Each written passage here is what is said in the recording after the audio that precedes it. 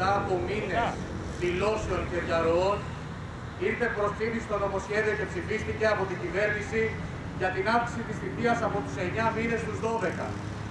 Την ίδια ώρα η κυβέρνηση δεν παίρνει κανένα μέτρο για, να, για τα υγειονομικά πρωτόκολλα στα στρατόπεδα, για να υπάρχει πρόνοια για τους φαντάρους, για τους στρατιώτες.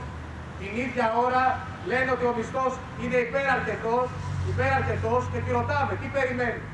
Να την βγάλει ένας φαντάρος, ένας στρατευμένος νέος, με 8 και 60 το μήνα και μάλιστα για 12 μήνες. Τους ανακοινώνουμε από εδώ. Το κάνουμε ξεκάθαρο. Πως θα παλέψουμε και θα συνεχίσουμε να παλεύουμε. Οι μελλοντικοί φαντάροι, οι φοιτητές, όλος ο κόσμος που αγωνίζεται για τα δικαιώματα των φαντάρων μέσα και έξω από τα στρατόπεδα. Για να υπάρξουν τώρα όλα τα απαραίτητα μέτρα για προστασία της υγείας των, των στρατευμένων. Τα λεφτά που δίνουν για τις δατοικέ δαπάνες, για τους σχεδιασμούς των δολοφόνων, θα δοθούν τώρα για τις ανάγκες των, στρατιω... των στρατιωτών.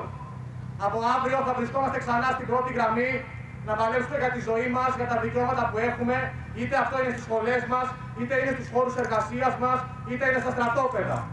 Δεν σκύβουμε το κεφάλι μας, συνεχίζουμε, μαζικοποιούμε τον αγώνα μας και θα συνεχίσουμε να παλεύουμε για τα δικαιώματα όλων των στρατευμένων.